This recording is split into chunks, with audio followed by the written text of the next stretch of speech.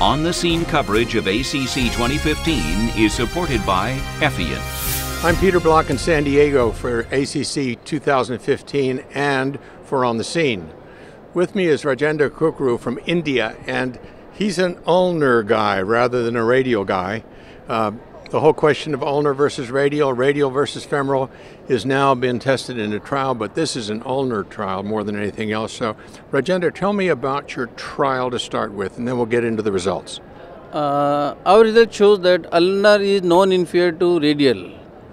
Uh, ulnar expert can do the radial easily, and if you have ulnar excess, then you have four forearm excesses. So chances to shift to the femoral is reduced by 95 percent.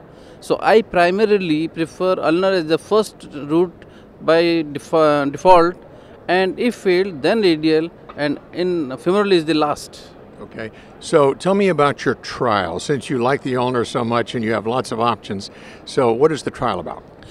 In our trial we had 2700 patients and uh, we found that all the uh, MACE all major vascular complications were less than 5% and they are they were comparable with the radial one Therefore, it's a non-inferior to radial.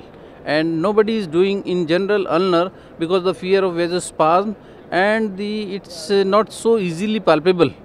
Because in the only small 3 centimeters in the forearm uh, above the flexor retinaculum it is palpable. And its palpability depends more on the position of the hand. And in routine in a supine position of the hand we are not able to palpate. But the moment you extend the wrist this is easily palpable and hardly 2 millimeters below the skin. So it's a very easy access one if one expertise then it's very good.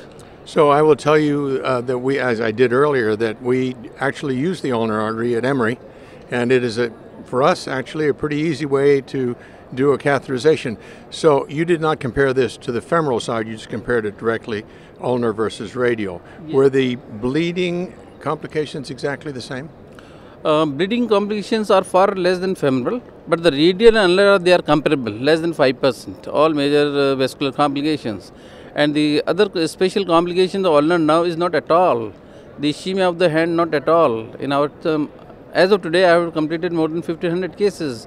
I have not seen ulnar nerve injury or any for uh, hand ischemia. They are comparable.